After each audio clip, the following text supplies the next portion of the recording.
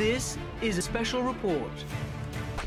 ஆம் நேர்களே மற்றொரு அமெரிக்க கப்பலை தாக்கி அழித்திருக்கிறார்கள் அல்லது தாக்கி இருக்கிறார்கள் என்று வைத்துக் கொள்ளலாம். அதே போல எம் ஒன்பது ரக எம் கியூ ஒன்பது ரக அதி உயர் அமெரிக்காவினுடைய ட்ரோன் ஒன்றையும் ஹவுதிக்கள் தாக்கி அழித்திருக்கிறார்கள். இது தொடர்பான முழுமையான விவரங்களை உங்களுக்கு வழங்குவதற்காக தான் இணைந்து கொள்கிறேன். அமெரிக்காவினுடைய உரிமம் கோரப்படுகின்ற வணிக கப்பல்களுள் ஒன்றான த சாம்பியன் சி என்ற கப்பல் கிரேக்கத்தினுடைய தேசிய கொடியை தாங்கி பயணித்துக் கொண்டிருந்த வேளையில் ஏடன் வளைகுடாவில் தாக்குதலுக்கு உட்படுத்தப்பட்டிருக்கிறது. இரண்டு ஏவுகணைகளால் கப்பலினுடைய தாக்குதல் இடம்பெற்றிருப்பதாக சர்வதேச செய்திகள் தெரிவிக்கின்றன. அதன் அடிப்படையிலே கிழக்கு ஏமன் பகுதியிலிருந்து நூறு கடல் மைல் தொலைவிலே இந்த தாக்குதல் இடம்பெற்றுள்ளதாக சர்வதேச கடல் பாதுகாப்பு முகவர் நிறுவனங்களுள் இரண்டு நிறுவனங்கள் உறுதிப்படுத்தியிருக்கின்றன. குறிப்பாக யூகேஎம்டிஓ மற்றும் அம்ரே ஆகிய நிறுவனங்கள் இதனை உறுதிப்படுத்தியிருக்கின்றன. இந்த தகவல்கள் பிரகாரம் பிரகாரம் யூகேஎம்டிஓ நிறுவனத்திற்கு குறித்த கப்பலினுடைய மாலுமி மற்றும் அதிகாரிகள் உடனடியாக தாக்குதல் இடம்பெற்ற உடனேயே தகவல்களை வழங்கியதாகவும்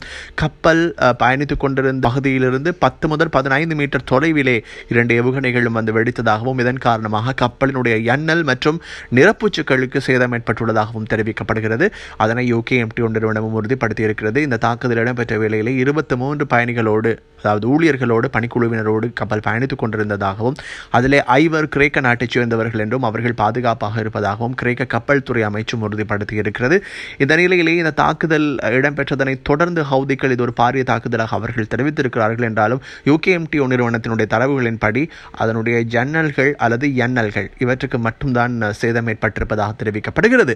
இந்த நிலையிலே அமெரிக்காவினுடைய இந்த கப்பல் மீதான தாக்குதல் இடம்பெறுவது நாற்பத்தி எட்டு மணித்தியாலங்களுக்குள் இரண்டு கப்பல்கள் தாக்கப்பட்டிருக்கின்றன என்ற செய்தியை தான் பரபரப்பாக கூறக்கூடியதாக இருக்கிறது. அதாவது அதாவது ரூபிமார் என்ற கப்பல் ஐக்கிய அரபு ராஜ்யத்திலிருந்து பல்கேரியா நோக்கி பயணித்தது.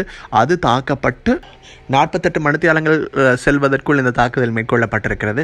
அத்தோடு அமெரிக்கா ஒரு பரபரப்பான செய்தியை வெளியிட்டு சில மணி நேரங்கள் அதாவது ஹவுதிகள் நீர்மூழ்கி ட்ரோன்களால் தாக்குகிறார்கள். நீர்மூழ்கி ட்ரோன்களை பயன்படுத்தி அழிக்கிறார்கள் என்ற ஒரு ஆச்சரியமான செய்தியை வெளியிட்டு சில மணி நேரங்களுக்குள்ளால் தான் இந்த தாக்குதல் மீண்டும் நடந்திருக்கிறது என்பது மிக முக்கியமான ஒரு விடயமாக கருதக்கூடியதாக இருக்கிறது. இப்போது குறித்த கப்பல் மற்றொரு பாதுகாப்பான துறைமுகத்தை நோக்கி நகர்வதாகவும் அது மெதுவாக செல்வதாகவும் தெரிவிக்கப்படுகிறது. இந்த நிலையிலே குறித்த கப்பலுக்கு தேவையான பாதுகாப்பையும் தீயணைப்பு பணிகளையும் கொண்டு செல்வதற்கு அல்லது கப்பலிலே உயிர் ஆபத்துகள் ஏற்பட்டுள்ளன என்பது தொடர்பில் ஆராய்வதற்கு அமெரிக்க போர்க்கப்பல்கள் அங்கே செல்வதாகவும் தெரிவிக்கப்படுகிறது என்றார் என்னாலும் கப்பலில் இருந்த பணியாளர்களுக்கு எவ்வித உயிராபத்துகள் ஏற்பட்டதா என்பது தொடர்பில் எவ்வித தகவல்களும் வெளியிடப்படவில்லை. இந்த நிலையிலே அமெரிக்காவினுடைய மற்றொரு மிக உயரிய ட்ரான் வகைகளுள் ஒன்றான எம் கியூ ஒன்பது ரக ட்ரான்களை எடன் வளைகுடாவிலே ஹவுதிகள் தாக்கி அழித்திருக்கிறார்கள். அதற்கான காணொலியை அவர்கள் வெளியிட்டிருக்கிறார்கள். என்றாலும் கூட அது தொடர்பில் அமெரிக்காவினுடைய மத்திய கட்டுப்பாட்டு அறையோ அல்லது ஏடன் வளைகுடாவினோட கடற்படை அதிகாரிகள் அங்கே அமெரிக்க கடற்படை இருக்கிறது. அவர்களோ எவ்வித உறுதிப்படுத்தல்களையும் இதுவரை வெளியிடவில்லை என்பது மிக முக்கியமான விடயம். இந்த நிலையில் இஸ்ரேல் மற்றும் அமெரிக்க கப்பல்கள் பிரித்தானிய கப்பல்கள் மீதான தங்களுடைய தாக்குதல்கள் தொடரும் என்றும் இதனை நிறுத்துவதற்கு ஒரே வழி ரஃபா பிராந்தியத்திலும் பலஸ்தீனத்திலும் ஒட்டுமொத்த இனப்படுகொலைகள் நிறுத்தப்பட வேண்டும் மற்றும் உடன் போர் நிறுத்தம் வர வேண்டும். மக்களுக்கு எதிரான அட்டூழியங்கள் நிறுத்தப்பட வேண்டும் என்பதான அவர்களுடைய ஒரே ஒரு கோரிக்கை இந்த கோரிக்கை நிறைவேறும் பட்சத்தில் தான் செங்கடல் அமைதியாகும் என்று சர்வதேச செய்திகளும் தெரிவிக்கின்றன. இந்த நிலையில் தான் தொடர் தாக்குதல்களால் இப்போது அல்லோல கல்லோலப்பட்டுக் கொண்டிருக்கிறார்கள் அமெரிக்கர்கள் மற்றும் அமெரிக்க அரசாங்கம். இது தொடர்பான முழுமையான தகவல்களை இப்போது உங்களுக்கு வழங்கி இருக்கிறோம் தொடர்ந்து மணிந்திருங்கள் உடனுக்குடன் செய்திகளை உங்களுக்கு வழங்குவதற்கு நாங்கள் தயாராக இருக்கிறோம்.